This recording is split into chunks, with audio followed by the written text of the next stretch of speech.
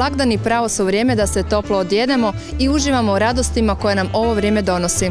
Upravo iz tog razloga pozdravljamo vas iz najživopisnije Zagrebačke ulice, koja je trenutno pravi mali adventski centar. Zato ostanite s nama i nakon najava i pridružite mi se u istraživanju ovih malih šarenih kućica.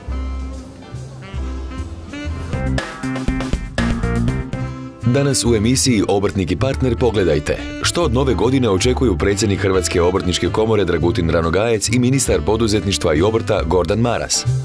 Tko su dobrojutrići i koje magične moći ima njihov smješak?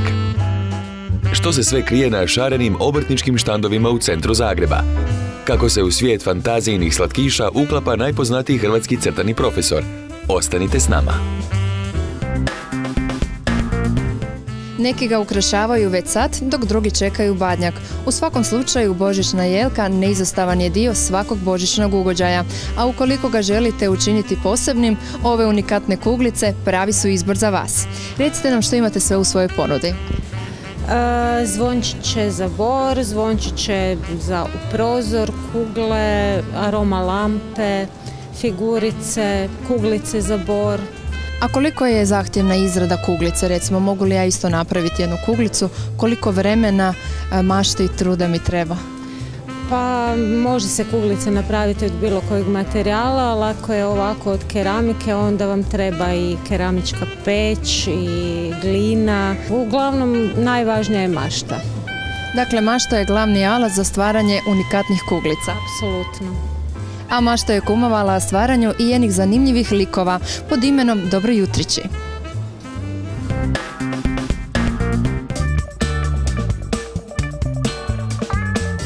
Nakon deset godina rada u prosvjeti, Jarmila Gospodnetić upustila se u vlastite poduzetničke vode. Nova je profesorica engleskog jezika svoju budućnost ipak vidjela u nečem kreativnijem. Mama mi je pričala priče i izmišljavala priče i ja sam stalno izmišljavala priče i ja se sjećam, a i pričali su mi da kad sam bila mala da sam znala djecu i već od sebe imati u krug i, a ja sam nešto Posvetila se svom maštovitom svijetu kojeg je odlučila uobličiti pomoću Fimo mase. To je zapravo uh, materijal s kojim se može jako jednostavno i jako brzo napraviti neke stvari i koji se može slojevito koristiti.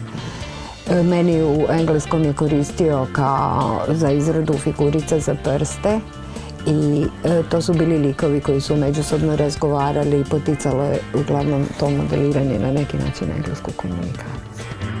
Zaživjeli su tako razni vilenjaci, čarobnjaci i lutkice, a svaki od njih priča svoju priču.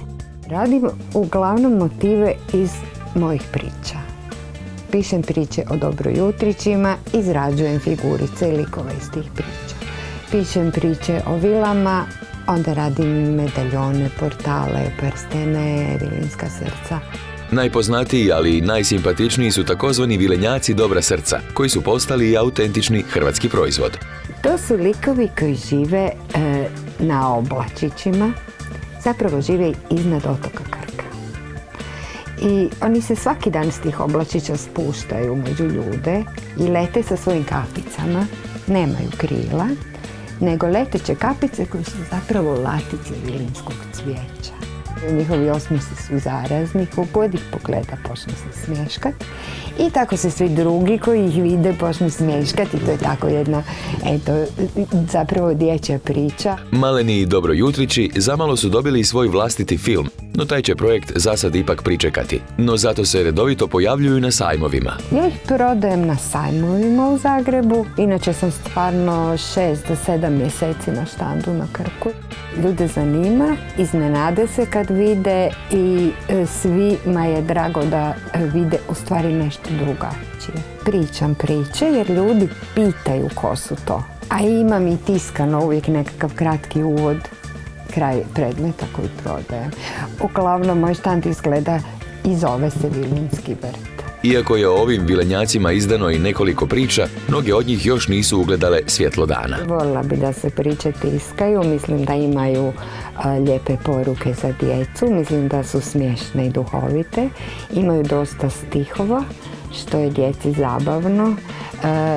neke od njih su i uglazbljene i mogu se odplesati sa djecom. Ovaj zaštićeni autorski rad mnogi su roditelji ovih blagdana prepoznali kao idealan poklon za svoje najmlađe. U pravoj poplavi bižuterije sa istoka ova nam se vedra priča čini kao pravo zlato.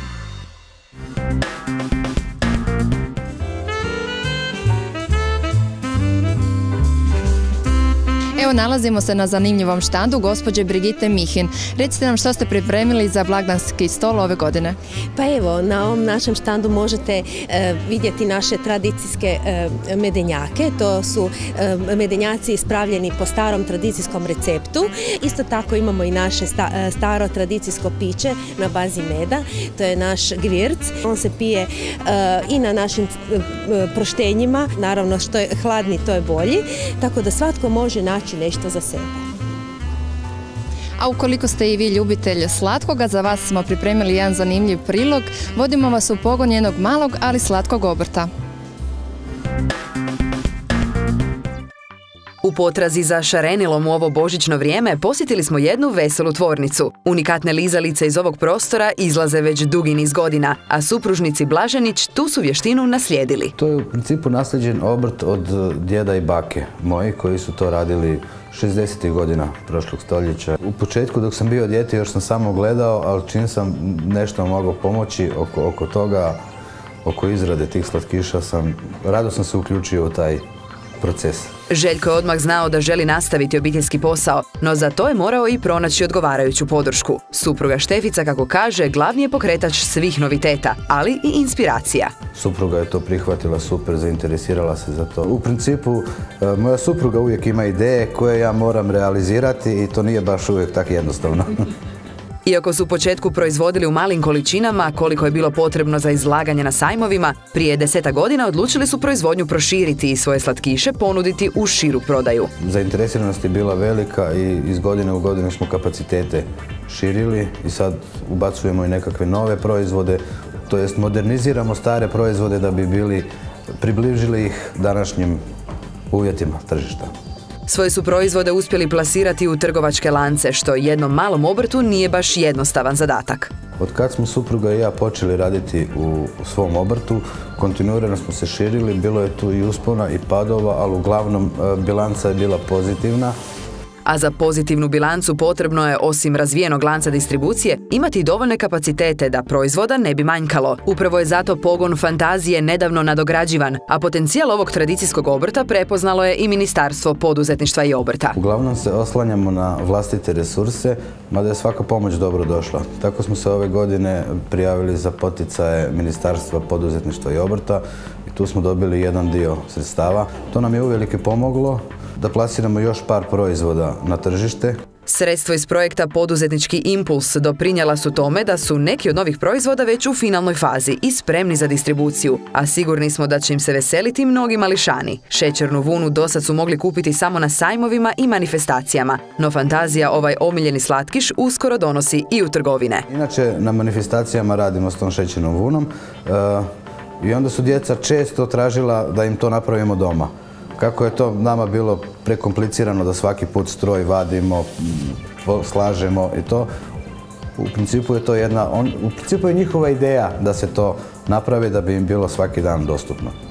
Budući da su supružnici Blaženić bili svjesni kako proizvod ne prodaje samo ideja i kvaliteta, već i pomno osmišljen marketing, ovom su paketiću dodali i jednu popularnu hrvatsku crtanu ikonu profesora Baltezara. Prepoznatljivom ambalažom i jedinstvenim slatkišem kreću u osvajanje našeg, ali i stranog tržišta.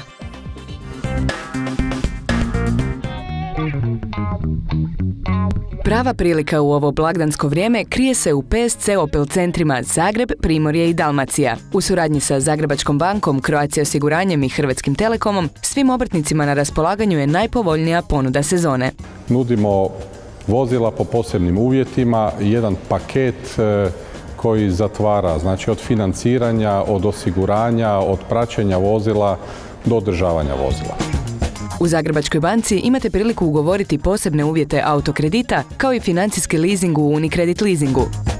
Najpovoljniji uvjeti kasko osiguranja čekaju vas u Croatia osiguranju. Želite li mogućnost da u svakom trenutku imate kontrolu nad vašim voznim parkom, rješenje vam nudi Hrvatski Telekom. Novi Opelovi modeli po ovim posebnim akcijskim uvjetima na raspolaganju su vam diljem Hrvatske. Ušli smo u projekt Obrtnik i partner jer obrtnici su uvijek naši vjerni kupci i mi im želimo vratiti tu vjernost kroz posebne pogodnosti programa Obrtnik i partner. Akcija traje do kraja godine, zato ne propustite ovu jedinstvenu priliku.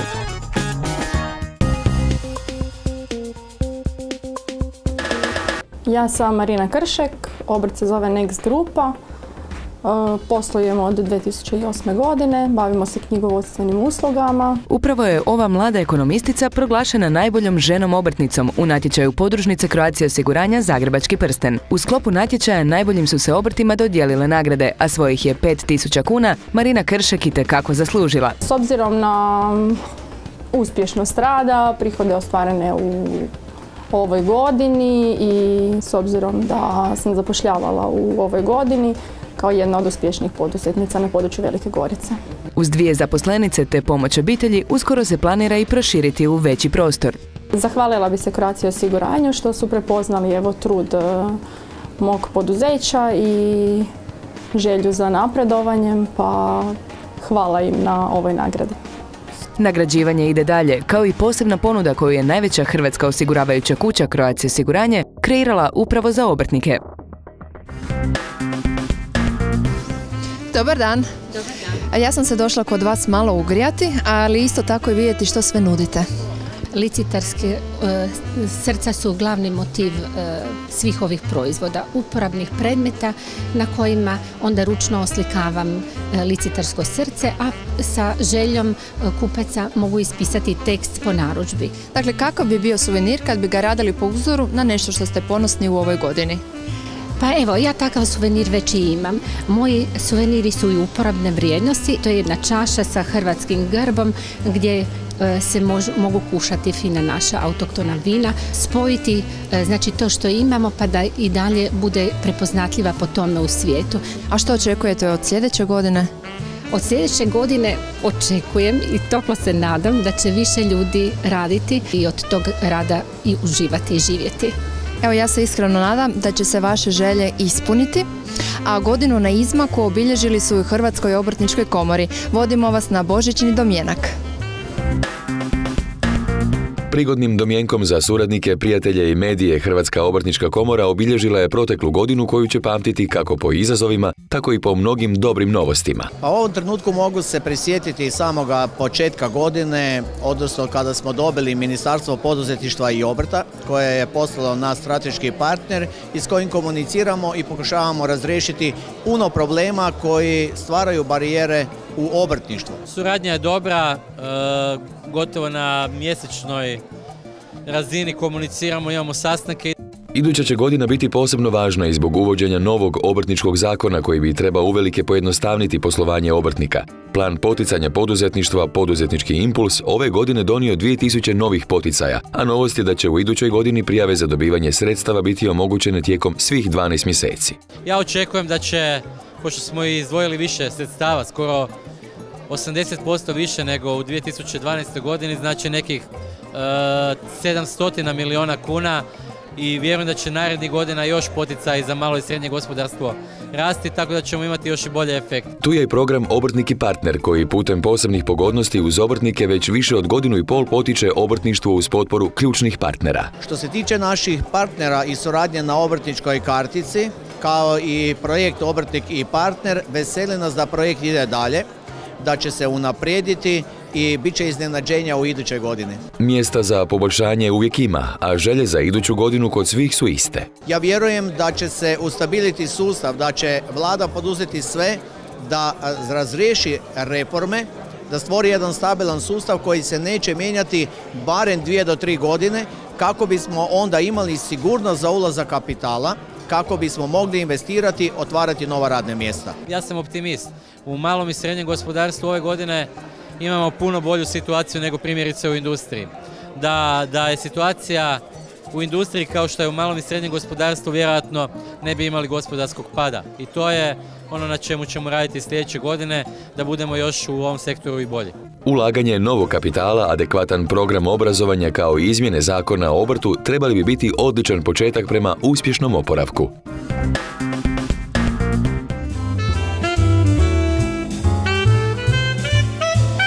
Osjećaj da ovdje možemo pronaći pravi recept kako se zagrijati u ove hladne dane. Koji je to recept? Apsolutno da. Dođite e, na štand Al Caprone, najveseliji štand koji će vam pružiti prekrasni izbor ovih divnih voćnih rakica i likera. Napravili smo fantastični punč po našoj recepturi, isto tako grok od naranđe sa našim domaćim naranđama i mandarinama, eto, koji zaista zagrijava i potiče dobro raspoloženje. Što bi izdvojili, koji je hit ovu zimu? Hit e, ove zime je jabuka cimet, ljudi to jako vole jer je napravljen od prave jabuke sa pravim cimetom, nešto zaista što grije. Evo mi ćemo poslušati vaš recept da se malo zagrijemo ove hladne dane jer je prehladno naravno, a vi dragi gledatelji u nastavku pogledajte koje su se to jedinstvene rakije predstavile na prošlotjednom Eko-etno sajmu.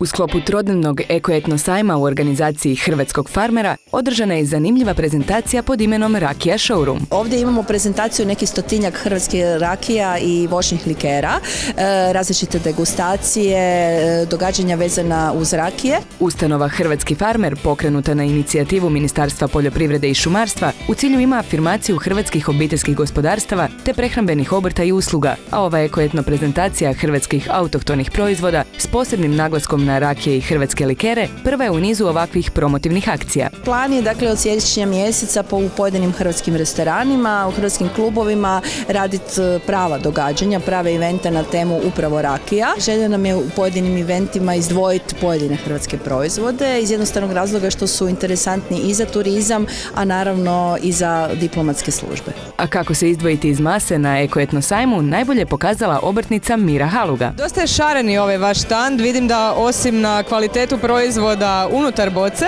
e, polažete pažnju i na nekakav vizualni dojam, jel to sami oslikavate? Da, ove boce sam oslikala sama. Koliko mislite da ima utjecaja to kako izgleda?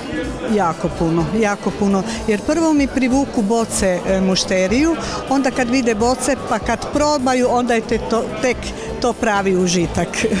Gospođa Haluga otkrila nam je i jednu tajnu, a to je da i klasičnu medicu možemo pretvoriti u nesvakidašnji doživljaj. Po čemu je specifična ova medica? Čujte, ona se radi na jabukovoj raki ili na uh, viljamovoj raki. Ima med, livada, e, limun, naranđa, muškatno vino. Sve zajedno se hladno miješa, tako da, da se stopi prirodno. Kad smo kod specifičnih proizvoda, još je nešto privuklo našu pažnju. Ovdje smo naišli na nešto što nije rakija, ali se savršeno slaže uz bilo koju rakiju. A radi se o jednom specifičnom proizvodu, a više o njemu reći će nam gospođa Marinka. Pa recite, e, šta sam ja ovo upravo probala? E, sada ste probali jednu zdravu grickalicu, Caro Pir Pikant. E, to je jedno novo namirnica na našem tržištu. Radimo je iz pšeničnih klica, pšenice pir, rogačevog bra brašna, e, vučenih sjemenaka i oraha. Tako smo spojili sjever i jug, našu pšenicu i njihov rogač. I uz koju rakiju se najbolje slaže? pa ja mislim Viljamovku. A tu se odlično uklapa Viljamovka obitelji Cestarić. Ja se inače bavim proizvodnjom krušaka. Imam 3,5 tisuće stabala krušaka, e, kao prodajem i kao konzumne i E, proizvodnjom rakije. A postoji li bolji razlog za njihovu degustaciju od nadolazećih blagdana?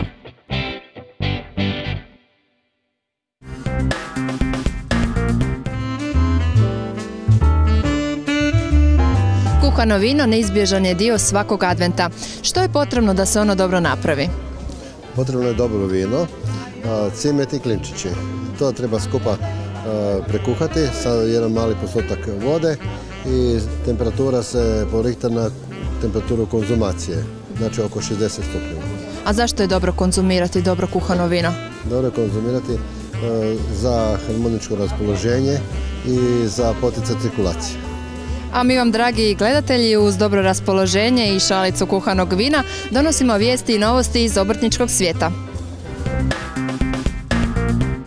Upravni odbor Hrvatske obrtničke komore na svojoj 14. sjednici održanoj 18. listopada donio odluke o imenovanju predsjedništva Suda časti Hoka i članova prvostupanjskih i drugostupanjskih vijeća Suda časti Hrvatske obrtničke komore. Suci koji su izabrani na mandatno razdoblje, u ovom slučaju od 2012. do 2016. godine, moraju prije početka rada dati prisegu, znači da će raditi po zakonu, po ustavu, po statutu Hrvatske obrtničke komore i u skladu sa društvenim moralom i pravilima struke. Za predsjednika suda časti Hoka imenovan je Damir Kontrec, magistar prava i sudac Vrhovnog suda Republike Hrvatske, dok su za zamjenske imenovani Igor Vojinović i Mirza Šabić. Na sjednici je usvojena i informacija o najznačajnijim aktivnostima Hoka između dviju sjednica Skupštine, te je prihvaćen prijedlog programa rada Hoka za 2013. godinu i prijedlog financijskog proračuna Hoka za 2013. Fond za zaštitu okoliša i energetsku učinkovitost objavio je devet natječaja za sufinanciranje projekata energetske učinkovitosti i korištenja obnovljivih izvora energije, za koja su planirana sredstva u iznosu od 84,5 milijuna kuna. Natječaji su objavljeni na web stranicama fonda i u Narodnim novinama, a svoje projekte na iste mogu kandidirati jedinice regionalne i lokalne samouprave, javne ustanove, građani, trgovačka društva, obrtnici i druge pravne osobe.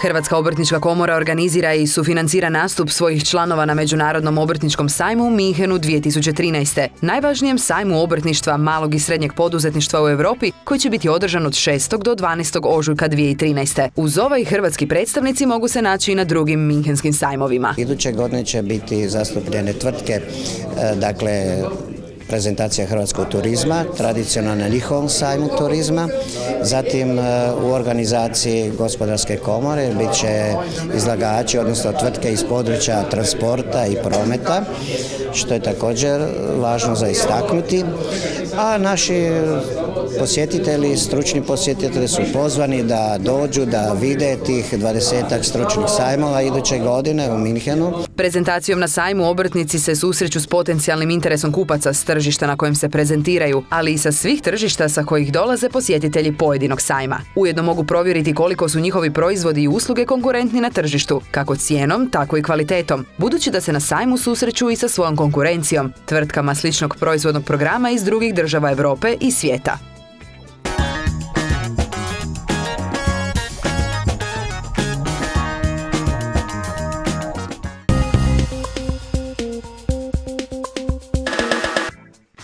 Novi zakon o fiskalizaciji za vaš posao znači da morate imati stalni pristup internetu. Hrvatski Telekom kreirao je najbolje ponude na tržištu usmjerene na potrebe obrta te malog i srednjeg poduzetništva. Hrvatski Telekom nudi cjelovito rješenje obveznicima fiskalizacije, što znači stalnu vezu prema serverima porezne uprave, blaginički hardware, blaginički software, podrške i održavanje svega toga u cijeloj Hrvatskoj 24/7. Znate li da lokali koji svojim gostima pružaju besplatno surfanje i gledanje utakmica na Max TV-u osiguravaju i veće zarade? Hrvatski Telekom posebnu pažnju posvećuje ugostiteljima i njihovim gostima. U više od 1200 kafića diljem Hrvatske omogućili smo besplatno surfanje za sve goste putem hotspot usluge, a uz Max TV nogometne utakmice i brojne sportske sadržaje omogućavamo dodatnu zabavu za sve posjetitelje ovih lokala. Fiskalizacija zahtjeva stalan pristup internetu. Osigurajte ga na vrijeme. Više informacija o ponudi potražite na web stranicama Hrvatskog Telekoma. Hrvatski Telekom. Živjeti zajedno.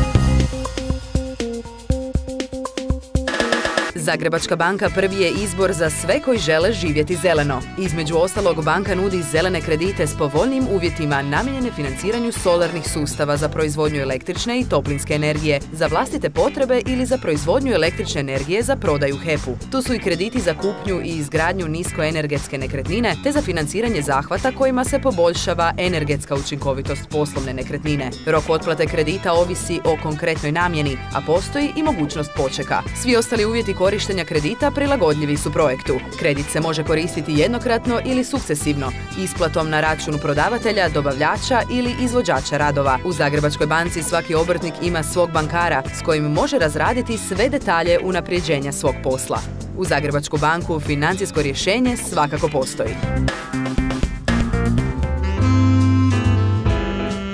Nadam se da smo vas inspirirali da i sami posjetite Advent u srcu Zagreba ili možda neki drugi božićni sajam. Pritom ne zaboravite podržati i naše obrtnike kupnom njihovih domaćih proizvoda. Također vas pozivamo da budete s nama i iduće subote, kada ćemo se prisjetiti nekih najupečatljivijih obrta, ali isto tako dobro nasmijati. Sretne blagdane žele vam redakcija emisije Obrtnik i partner. Srdačan pozdrav!